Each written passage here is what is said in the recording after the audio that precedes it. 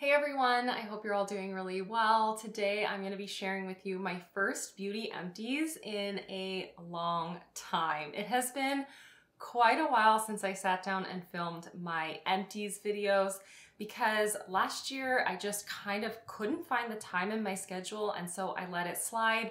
But this year, I want to get back on track with sharing with you empties. So I have been setting aside my empties for all of January and February, and I have some thoughts on all these products. I think this is such a great way to share with you some very thorough reviews on products.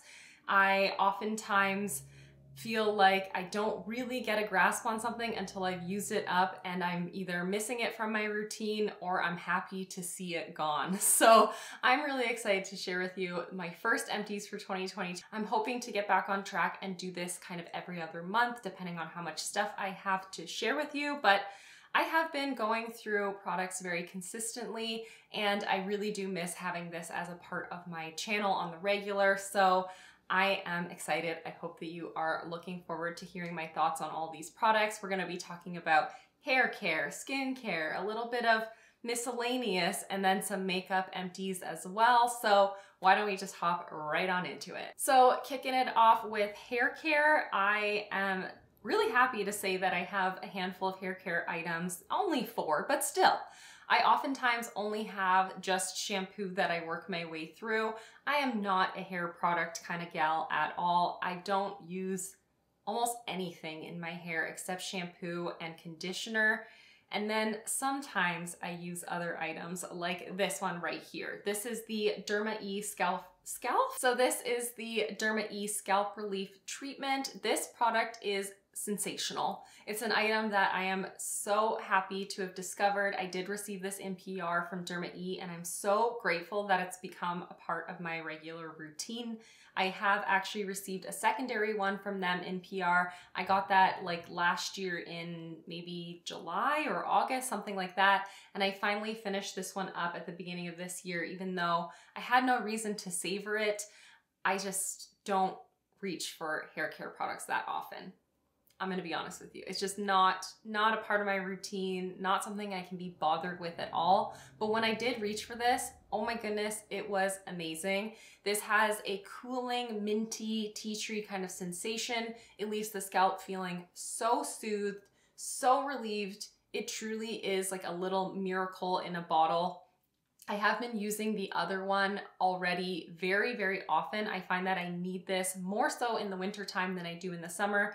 And that's likely why I kind of fell out of using this when I, even though I was very close, I feel like I was really, really close to done with it in like August. And then I ended up just kind of forgetting to reach for it until the winter months came back around.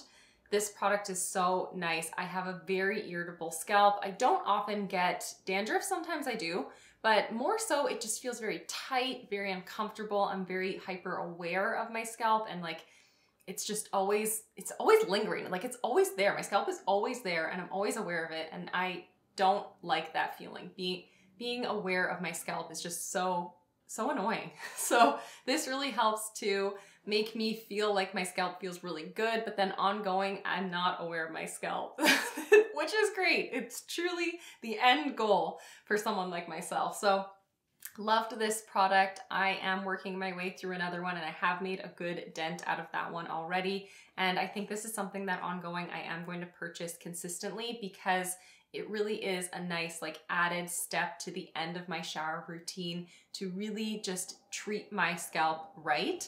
And I also have two shampoo and conditioner, well, one shampoo and one conditioner products from Derma E that are in the same line. I adore these. I have been through multiples of these already. I've talked about both of these multiple times on my channel and I love these products. Again, they are that cooling, minty sort of sensation on the scalp, very refreshing, but also soothing. And it's just a really, really great line in general, but these two products are amazing. I have received two shampoos and two conditioners in PR, and I've also purchased this product, I wanna say two or three times, possibly three times. The ones that I currently have in my shower are ones that I did purchase for myself, and I wanna show you something about what's going on with this newest batch. I think that they've recently, well, I know that they've recently changed the packaging and I'm not here for it. I'm not happy with it at all. So this one is the one that I did purchase. I ended up actually having to decant this, the product that came in this packaging into the old packaging from what I received in PR. And we can distinguish these because this is the Canadian packaging with French and English. And this is the American packaging, which I got straight from Derma E with just English on it. So in the Canadian packaging, I hope this is not the way that it's always going to be moving forward. Hopefully this is just a temporary kind of move to try out new packaging, but it is not good. I have never once in my life, same with how I want to feel about my scalp, I've never once had to think about the packaging of my shampoo. Never. I've never considered it to be flawed in any sort of way. I've never expected a flaw from any sort of shampoo packaging. But this last batch, this one, it's impossible to squeeze. You can see I'm using two hands and I can hardly squeeze the packaging. So when you're in the shower, if you're trying to just squeeze out a little bit into the palm of your hand, not, not happening. Like literally not possible. It is so firm. In comparison, this is the old packaging for the conditioner because I was not able to depot the conditioner in this packaging into this old packaging. So I'll show you by contrast. Nice and squishy, easy going. It's, you know, conditioner and shampoo just flow on out of here, no problem. So I really hope that this is a very temporary thing. It's really frustrating, but what's inside is really great.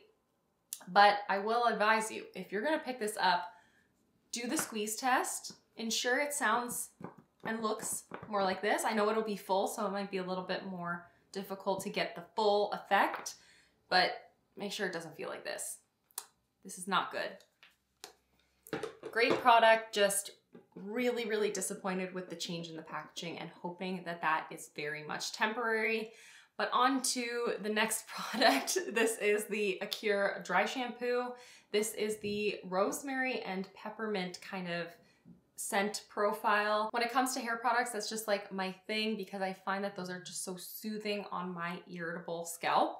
So this product was one that comes in like a shaker. I personally am really trying to avoid aerosols um, as much as possible. And because I don't use that many hair products on the regular, something like this actually has a really nice long shelf life as well because it's just simply a powder.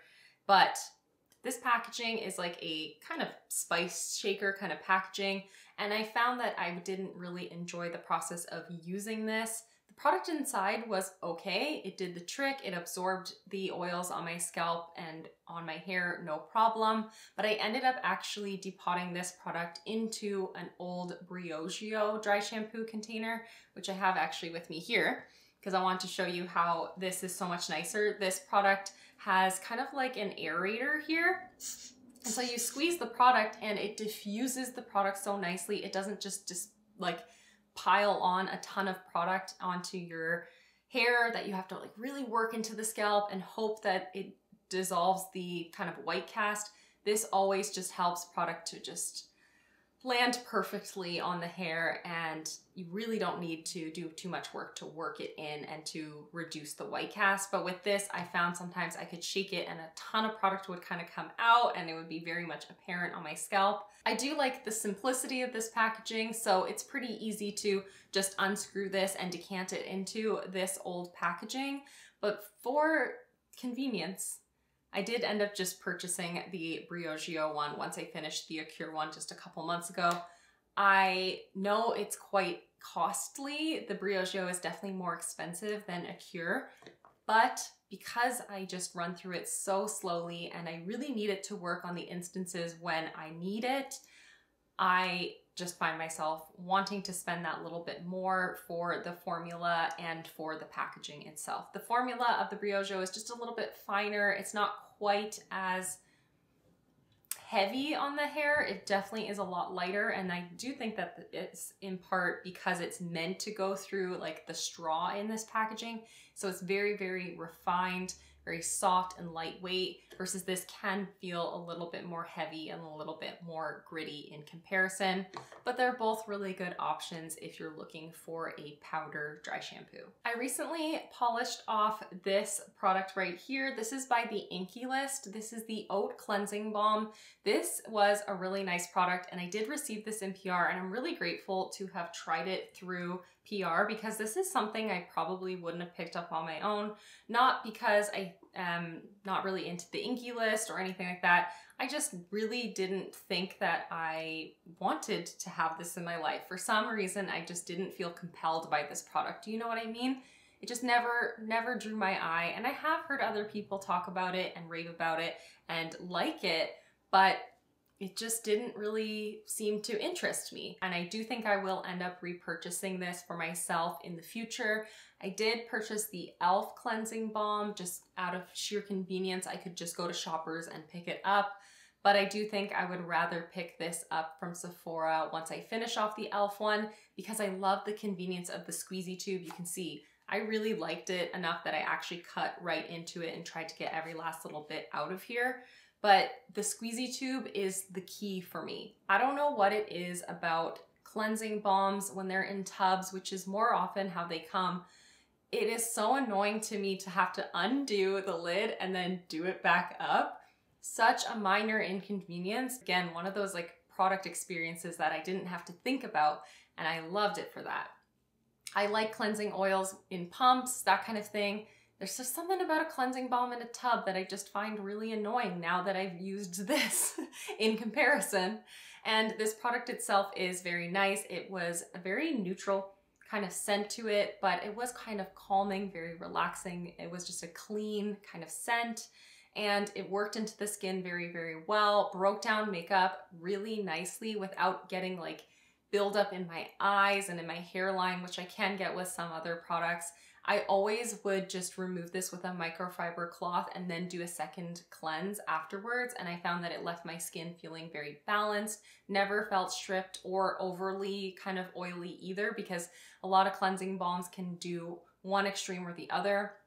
My skin just felt very comfortable. And I think this is great, a very affordable product, great for the amount of product that you get as well. Five fluid ounces in here.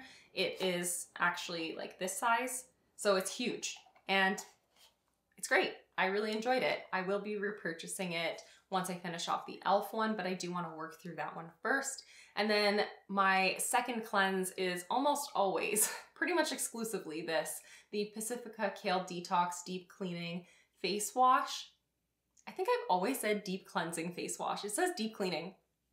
Either way, I've been using this for absolutely years. I used this when my skin was very oily, when I had pretty bad acne. I used this when my skin was hella dehydrated, when I was on Epuris and acne medication and it dried my skin so, so much out.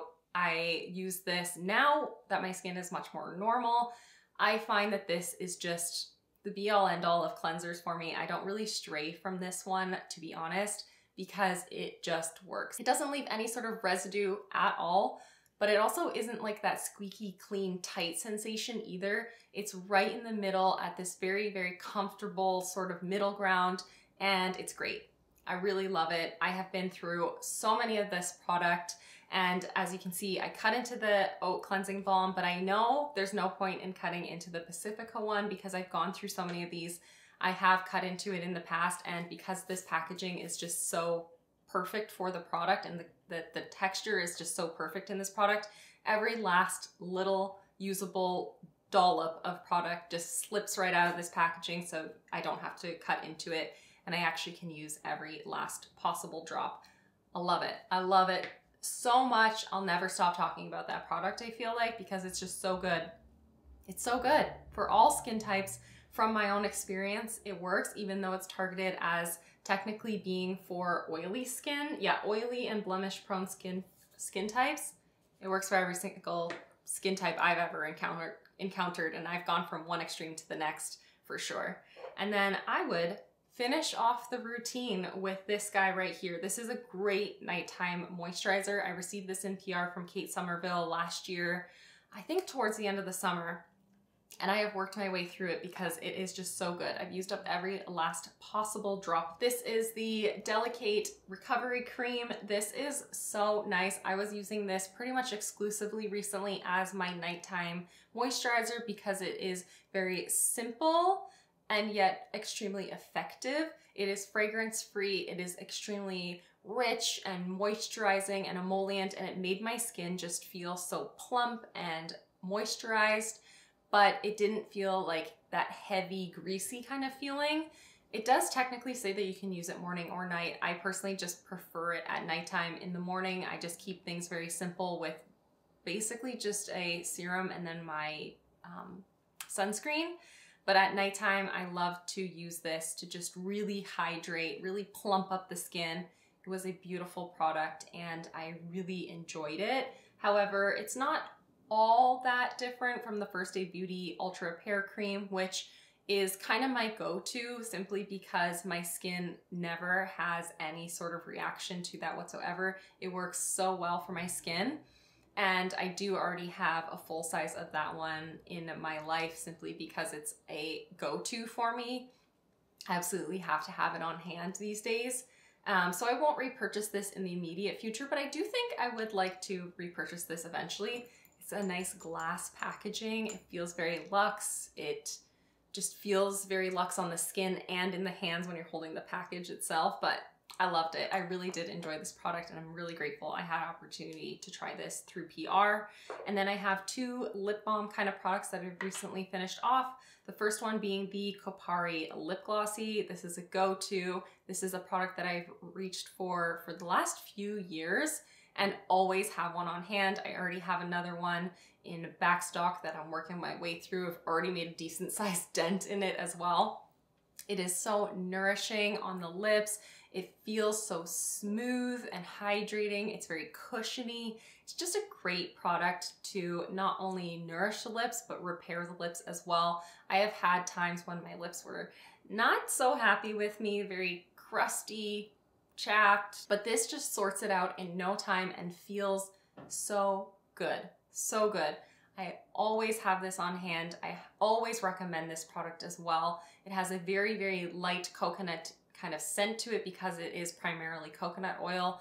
It has an amazing texture that just glides onto the lips. And as you can see, I cut into it so that I can stick my little pinky finger in there and get every last possible drop out of here because it is so good. And even though I always have a second one as a backup, I have to use every possible drop out of each and every one of those tubes. I love that product. It's a absolute long-term and forever favorite, I think, in my opinion. And then I also finished off this lip balm recently. This is the Nova Scotia Fisherman Sea Salt and Caramel Lip Balm. This product was pretty good. I didn't dislike it by any means, um, but I don't think I'll be repurchasing it in the immediate future.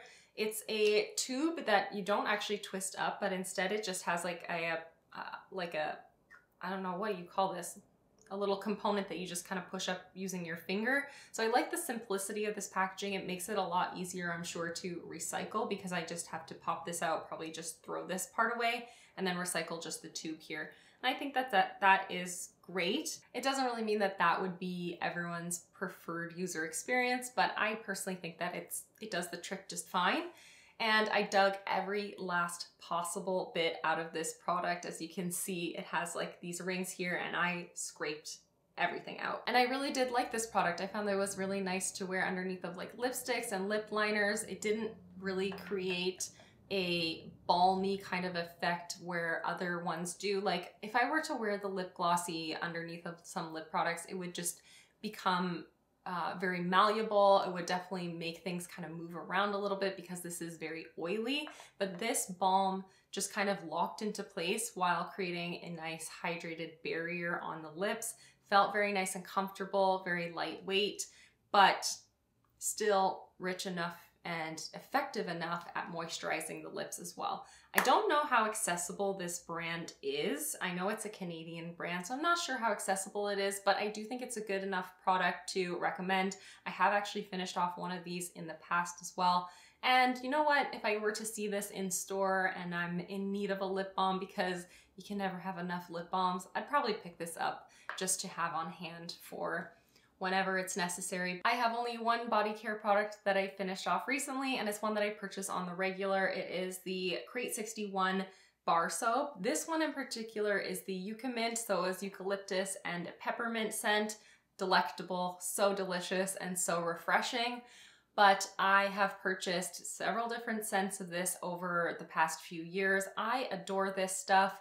I think it's a really great bar soap, and I know bar soap's not for everyone, but I love that it is just minimal packaging. It's just simply this cardboard sleeve and the bar soap comes in here. Bar soap is just great because it's no fuss, it's no extra packaging. It is so, so good, and the scents on these are really nice and they don't linger by any means. Like a body wash would probably linger and like stick to your skin a lot more.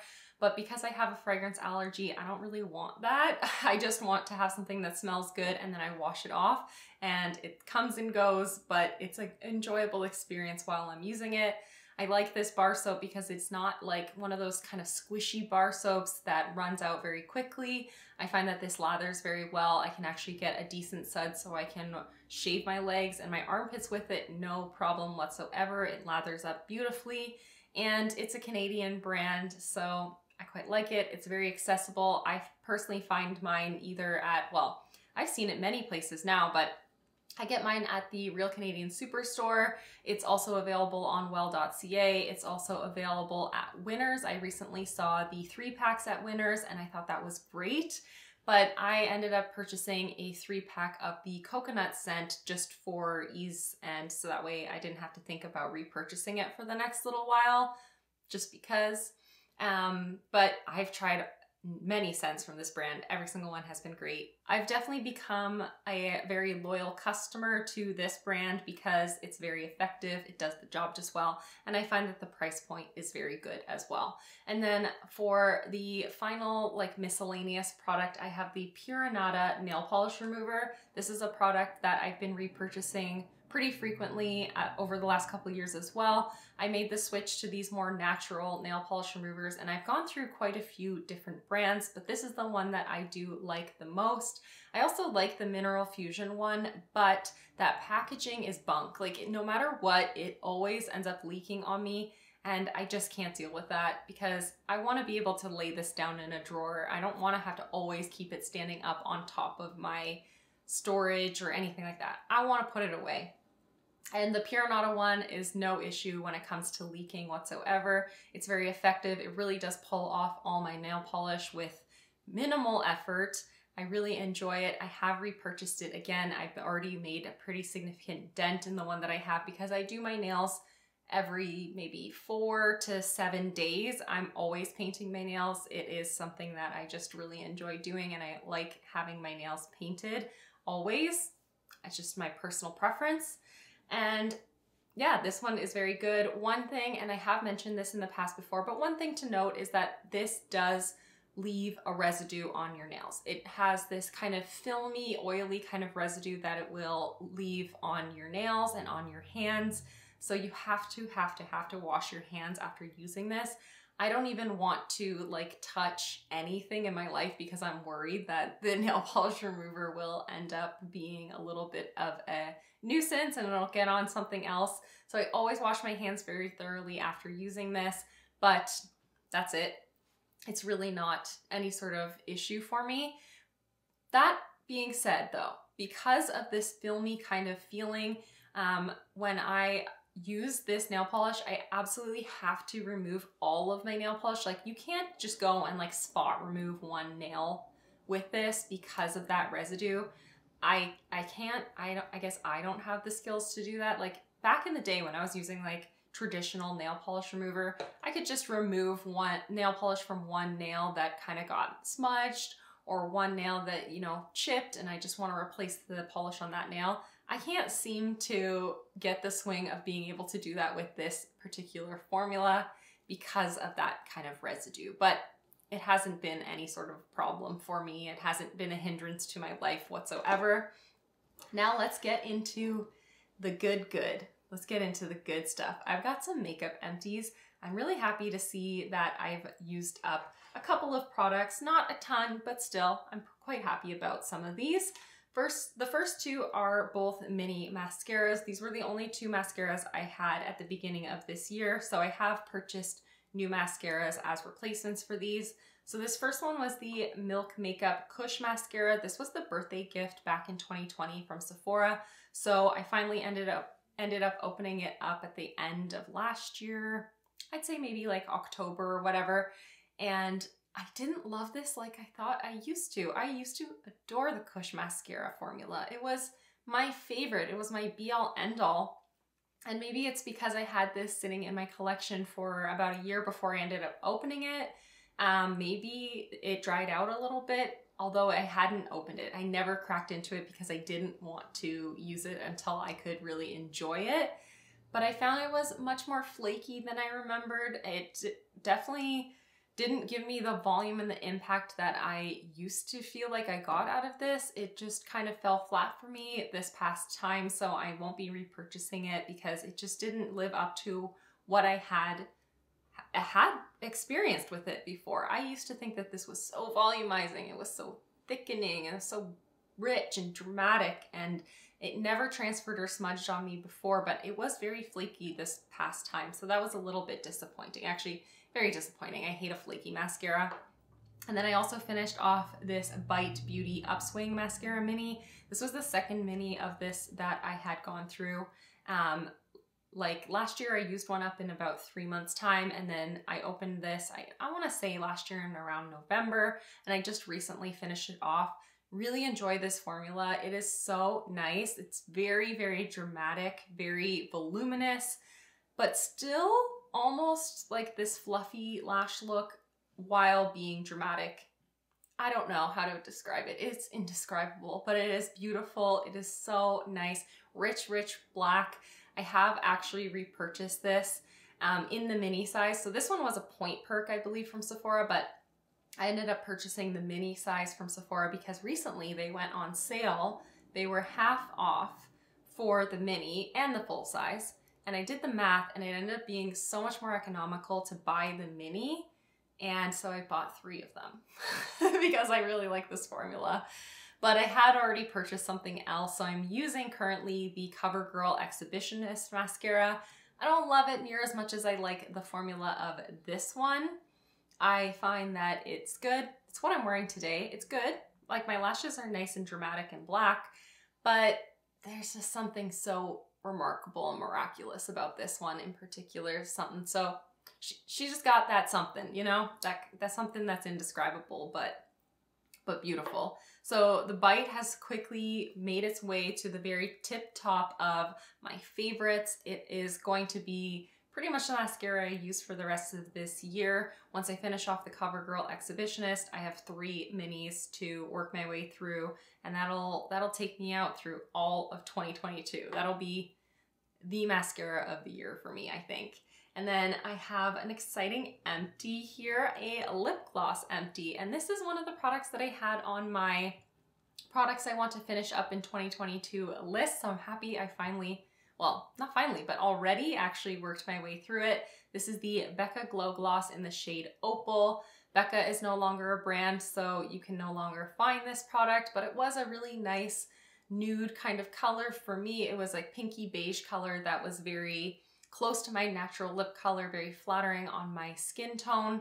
And it had this tiny bit of sheen, a little bit of shimmer, but it didn't look apparently glittery on the lips at all. It also had this like minty kind of taste and fragrance to it, but it wasn't like a tingly, um, plumping sort of sensation at all. It just was very like fresh feeling on the lips.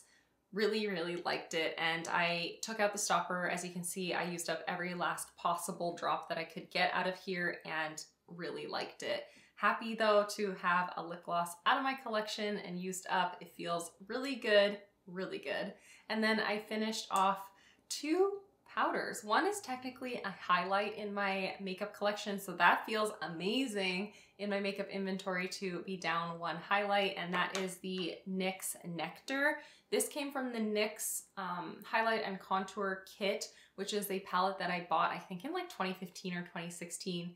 worked my way through a couple of the products and then ended up just keeping this one because I did find it was a really nice soft highlighter. And recently I ended up actually mixing it and frankening it with my Charlotte Tilbury Airbrush Flawless Finish Powder because this was nearing the end. There was very, very little product remaining in here and I thought that it might offer a really nice kind of glowy kind of look to this without looking artificial or too highlighty. And I really like the way that these turned out when I mixed these two products together. It was a really beautiful setting powder. So I'm happy that I did decide to do that and I was able to polish this off in its entirety. Look at that shiny pan.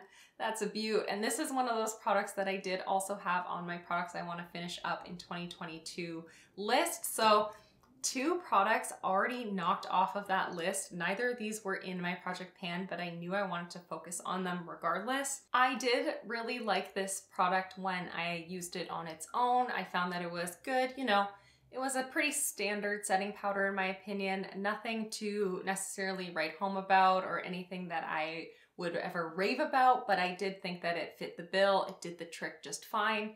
But I really enjoyed it actually when it was mixed with that NYX product because it offered this soft, luminous kind of look to the skin. It did, didn't ever look very powdery or heavy on the skin. It was very, very nice. On its own, did the trick just fine, like I said. I personally will never repurchase it because it is very costly for what it is. And the shade range is just not there for me. It just ain't it. So I would definitely like your recommendations for a alternative to this or possibly an alternative to what this kind of provided me when it was mixed with the NYX.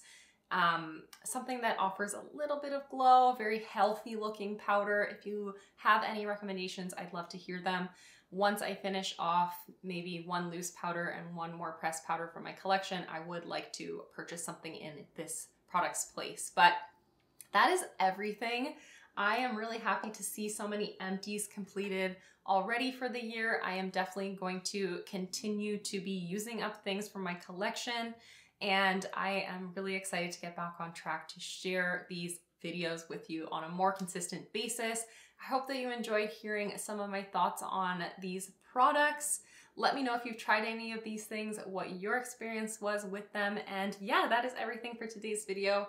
Thank you so much for watching and for being here. It means so much more to me than I think you'll ever know, but I just love spending this time with you and hanging out with you. So yeah, that's everything. See you in the next one.